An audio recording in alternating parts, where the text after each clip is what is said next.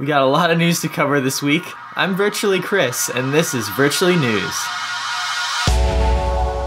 First off this week is from the people who made the VR covers. Now comes the VR Lens Lab, which is open now for business, and it lets you create custom prescription lenses for your Oculus Rift or HTC Vive.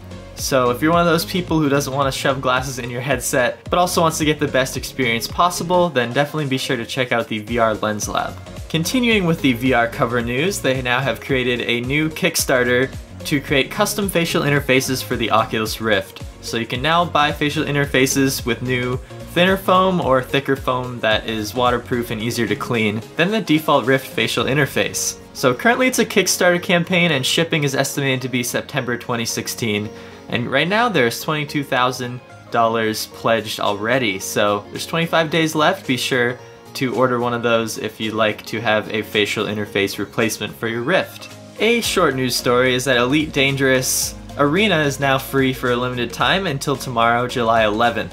So if you want to pick it up, go ahead. It's on Steam and it works with the Oculus Rift and HTC Vive. However, there's some negative reviews right now because of activation issues, it sounds like.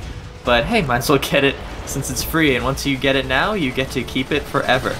In other news, Nvidia revealed the GTX 1060 graphics card, which has the same performance as the 980, but all for 249. So that's great.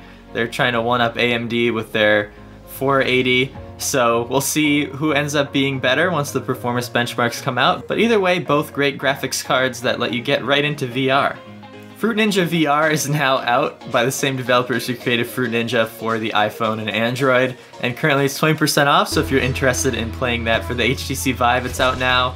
I have it, uh, it's a pretty shallow game, but if you enjoy that type of game, definitely be sure to check it out, it's in early access. In other news, Virtuix, who created the omnidirectional treadmill, is partnering with the Chinese company Hero to roll out custom experiences to the Chinese VR arcades that they'll be creating.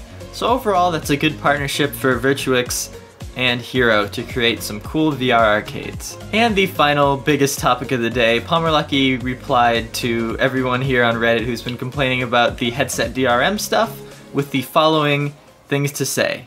We made an update and we went out to the press. We said, hey, we weren't targeting any hacks specifically, and this was part of our anti piracy and entitlement system updates. This, I think, got misinterpreted by a lot of people as look, Oculus has now decided they want to lock everything to our hardware. And thus, we actually also made an update recently uh, that removed that specific check. It removed a specific check that made that was that was blocking that thing from working. We're still investing in content. It's a exclusive to our store. We are willing to support other hardware, but we want to do it natively through our SDK so that every piece of hardware that we're supporting can be a first class citizen with access to all of our features. I don't want to wrap a bunch of always inferior SDKs that mean that we're going to have to be supporting people with hardware that don't have access to a lot of our critical features like asynchronous time warp um, or other performance optimizations we're going to be making in the future. So that's what he said. Let me know your opinions in the comments down below if you believe him. Personally, I think it is true that they were just trying to block piracy and accidentally broke this third-party hack, but you never know. So thank you so much for watching this week's episode of Virtually News. Be sure to slap a like on it if you enjoyed it,